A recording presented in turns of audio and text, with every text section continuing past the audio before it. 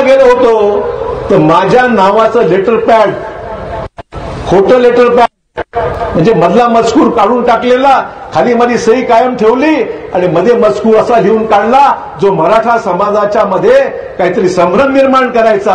आणि अशोक चव्हाण मराठ्यांच्या विरोधामध्ये आहेत हे दाखवण्याचा प्रयत्न करण्याकरता बोगस पत्र तयार करून त्या ठिकाणी फिरवण्याचा प्रयत्न होता. की पोलिसात तक्रार दाखल केलेली आहे. हे बोगस पत्र कारवाई झाली पाहिजे. याच्या मागचं सूत्रधार कोण आहे शोधून काढा. ह्याच्या मागचं सूत्रधार कोण शोधून काढा.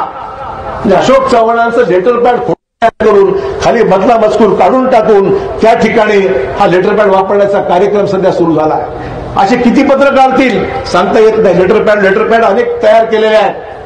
त्याची. म्हणून अधीक्षकांना पत्र दिलं. आज माझ्यावर पाळत आहे अशोक चव्हाण. कुठे चाललेत? कुठे चाललेत? गाडीने कुठे भेटतात? कुठे कोणाला भेटतात?